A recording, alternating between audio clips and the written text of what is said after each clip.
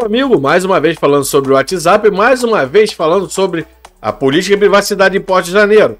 A coisa anda meio obscura por lá. Mas nós do canal do Mário Massini, que nós somos o criador de conteúdo digital, iremos explicar detalhadamente tudo. Primeiro, porque o WhatsApp vai dançar para o Ministério Público de São Paulo. Mas vamos relembrar desde janeiro? Em janeiro de 2021, o WhatsApp mandou o termo verde. Ele nos obrigou a aceitar uma política de privacidade na qual nenhum de nós concordávamos. Houve uma grande confusão, muita gente foi pro Telegram, muita gente dizendo que é pro Signo, muita gente que não ia aceitar o WhatsApp. Nisso, acendeu a luz vermelha na terra do mundo verde. Então eles falaram: bom, não vai dar certo, vamos recuar, vamos levantar aí um sinal de alerta, o sinal amarelo, e vamos fazer o seguinte: vamos jogar isso para 15 de maio. Depois de 15 de maio a gente resolve. Chegou 15 de maio e ele dançou WhatsApp vai dançar para o Ministério Público de São Paulo, que não está aceitando nada disso, não está gostando nada da atitude do Mundo Verde.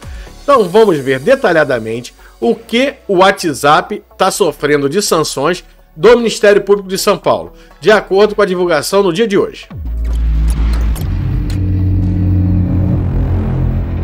A fonte é do site Tecmundo, o endereço aí, tecmundo.com.br, que é o site que sempre traz essas informações de primeira mão. E vamos ao título.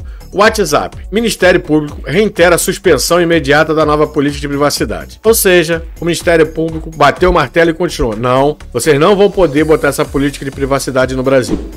Então vamos ao que o Ministério Público de São Paulo disse. O Ministério Público de São Paulo, MPSP, reiterou o pedido para que o WhatsApp suspenda a nova política de privacidade do aplicativo. Caso o Facebook, proprietário do mensageiro, não acate a medida imediatamente, serão aplicadas multas de 100 mil reais por dia até que seja tomada uma nova decisão judicial. Então, vai caber recurso, como já diz aqui, uma nova decisão judicial, mas a princípio o WhatsApp tem que acatar de não colocar a nova política imposta no Brasil e nem de cortar as pessoas que não aceitarem a sua política. O parecer, com uma ação civil pública em nome do Instituto Brasileiro de Defesa e Proteção de Dados Pessoais, cumpria-se a segurança de informação, abre parênteses, sigilo, foi assinado pelo procurador Luiz Antônio de Souza. No documento, ele afirma que a nova política pode trazer, abre aspas, danos de difícil reparação ao usuário do WhatsApp, fecha aspas. Também não é isso, eu não, eu não, eu, Mário, não acho isso tudo, mas cabe ao WhatsApp respeitar as leis nacionais.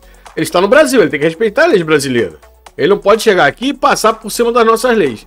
Então ele vai ter que se enquadrar. Estou a favor nesse ponto do Ministério Público, apesar de essa política toda, eu volto a falar, não é nada demais. Você que vem me acompanhando no canal, você já viu que em janeiro eu fiz um vídeo, logo saiu isso. Depois eu fiz o segundo vídeo dizendo que ele tinha recuado. Depois eu fiz o terceiro vídeo explicando detalhadamente o que era. E agora em maio eu tinha feito outro vídeo dizendo o que ia acontecer se você não aceitasse. E se você não é inscrito no nosso canal e está me acompanhando hoje, aproveite esse momento, se inscreva agora e ative o sino. Para queira ativar o sino, Mário, para dar sempre bem informado como meus inscritos estão. Vamos continuar lendo. Em maio, a entidade já havia entrado com uma ação pública contra a empresa, mas o juiz da sétima vara civil de São Paulo indeferiu a tutela provisória de urgência. O sigilo, que é a sigla daquilo tudo que eu falei, aquele nome imenso do órgão, recorreu à decisão que agora aguarda julgamento pelo Tribunal de Justiça de São Paulo. Volto a dar minha opinião. O juiz da sétima vara civil de São Paulo, ele tem uma visão mais ou menos igual a minha. Não é nada demais. O WhatsApp não vai roubar suas conversas. Suas conversas são criptografadas.